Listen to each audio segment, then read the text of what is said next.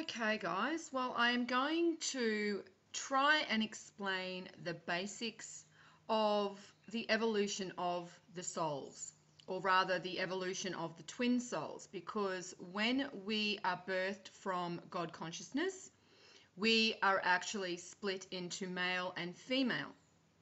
Now, I'm only going to bring the basics to you.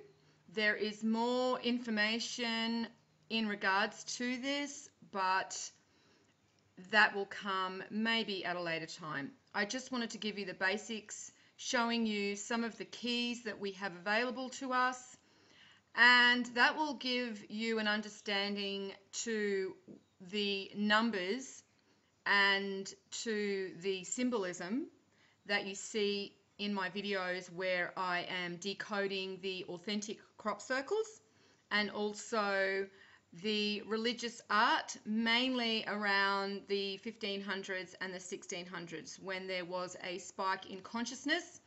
And this is the way that this information is relayed through creativity. So it's done through storytelling, through painting, and through music. Now, this is basically what all of the religions and the power elite have been hiding from us and also what they know. And the reason that they are basically out of control is because when we are judged, and that is coming because what happens is the light of Orion returns at the end of a 26,000 year cycle. And when that happens, our hearts are weighed. We are judged on the journey that we have just endured for the last 26,000 years. And during that time, we have traveled through both manifested realms on this planet because we are not only manifested in the hard physical, we are also manifested in the ethereal. And that's because it is the sun and the moon that help to manifest the projection of Orion onto this planet. So, using the sun and particles from the sun and energy from the sun and also the moon, which is how we are basically birthed here using the energy of the moon. We are then able to experience ourselves, and God is able to experience Himself through us.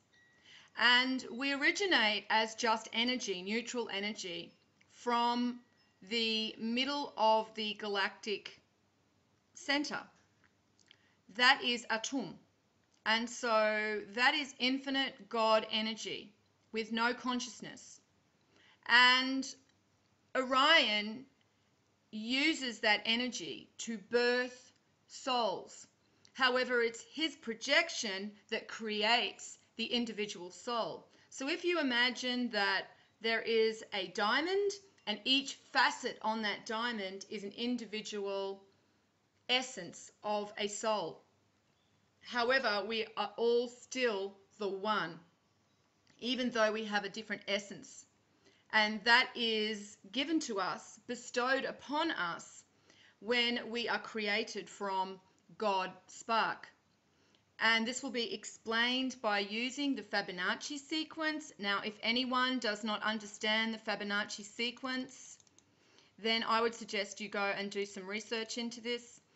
I also would suggest that if you have any problems understanding this information, if it is not speaking to you on some level, then you are not ready for this information. And I would just suggest that you perhaps go and read some occult sciences, uh, study some occult sciences. A great place to start would be the Kybalion and have some understanding of the real principles at work here in the universe, not the flat earth science, not the science that they've constructed because they want to keep us in the physical plane.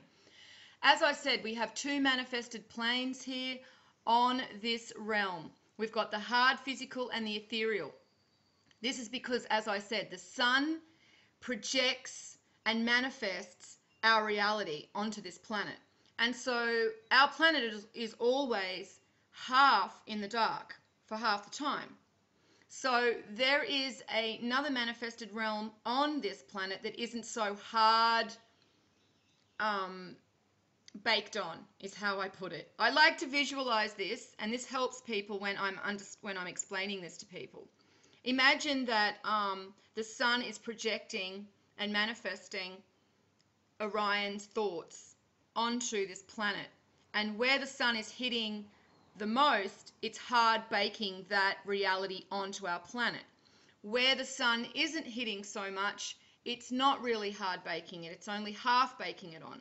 So we have another realm that exists on this planet that we can't see.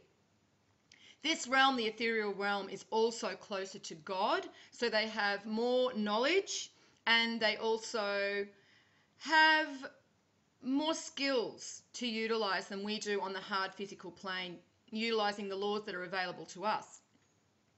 So, throughout our 26,000 year cycle, which is one precessional cycle, we actually move in between these two realms.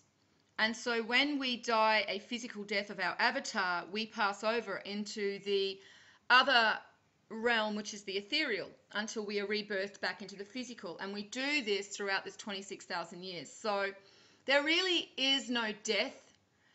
In reality, there is no death of the soul because as long as we stay in alignment with our soul, and I will do videos on that uh, later, but as long as we are in alignment with our soul and we pass judgment and we are a good soul because you know God is not going to kill himself. He is not going to destroy himself.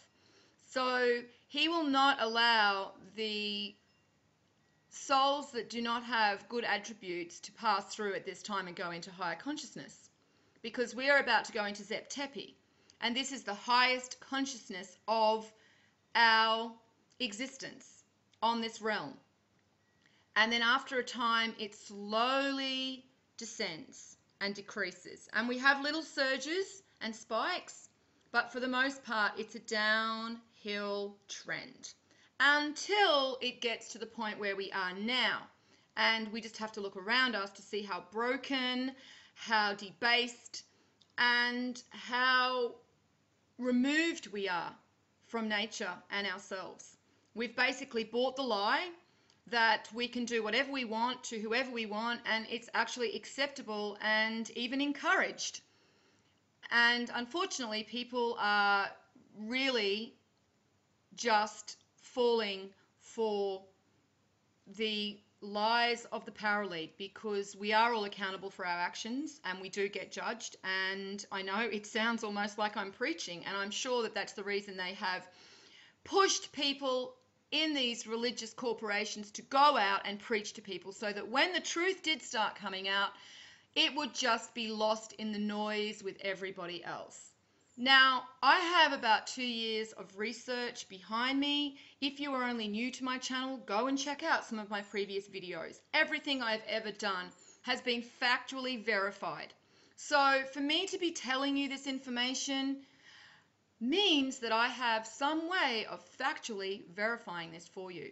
Now, if you're only finding this video for the first time, I would suggest that you watch my two previous videos in the playlist Sacred Sciences of Kemet because that will give you an understanding of where I'm sourcing this information and how this information is being presented. So, in front of me, we're looking at the Fibonacci sequence, and this is the sequence that is used mathematically for the universe to expand and to grow. Everything follows the Fibonacci sequence. Everything. Uh, galaxies, we see even the cone, the pine cone here, and we see this actually featured a lot throughout the Vatican. As I said, they know this information, and a lot of these top stars all are given this information. They basically have made a deal with the devil. There is no hell that you burn for eternity in. You are returned back to God's source, completely wiped of your existence. And you can even see this relayed in the weighing of the heart ceremony from ancient Egypt, which, by the way, Christianity is a carbon copy for ancient Egyptian knowledge and mythology. And so we see that the pine cone is represented uh, in Sumeria and also in pretty much all the cultures. But the Vatican definitely have a big attraction to utilizing this symbolism. And as I said, that's because the Vatican know and the power elite know. That is why they're going all out, and we are basically going to be watching them backed into a corner and then take as many people out with them before they fall. This is why it's important that we now start to withdraw ourselves from this illusion because that's what it is. They have created an illusion. Life as we know it is an illusion. We are not meant to exist on the planet in the way we do. We are not meant to use money and greed and envy and um, wrath and all of these other behaviors that are encouraged. We are not meant to live this way on this planet. And for those that think we are, well, good luck because you aren't going to really exist much longer. Just as I have explained, nature is beautiful when it is at work because only the best, the strongest, and the fittest survive. This is the case in nature all the time. It's not like God is vengeful, you know, any more than nature is vengeful. It's just that that's how nature survives by only the strongest and the best and the fittest being the ones to continue on.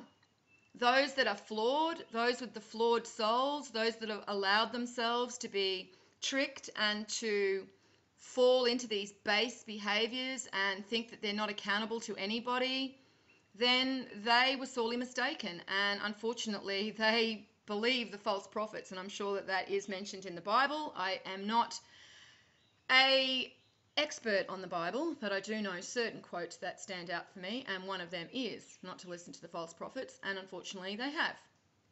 So there is no hell. What happens is people that are of a flawed nature just get wiped of all existence and they return back to Atum as God energy to be recycled when Orion chooses to bring you into existence once again. And so we need to understand that all of the nebula within the galaxy are also conscious. They're also manifesting their consciousness onto other planets. And once again, this is all known to the power elite and to the Vatican and the Freemasons. All of this information that I have, they have.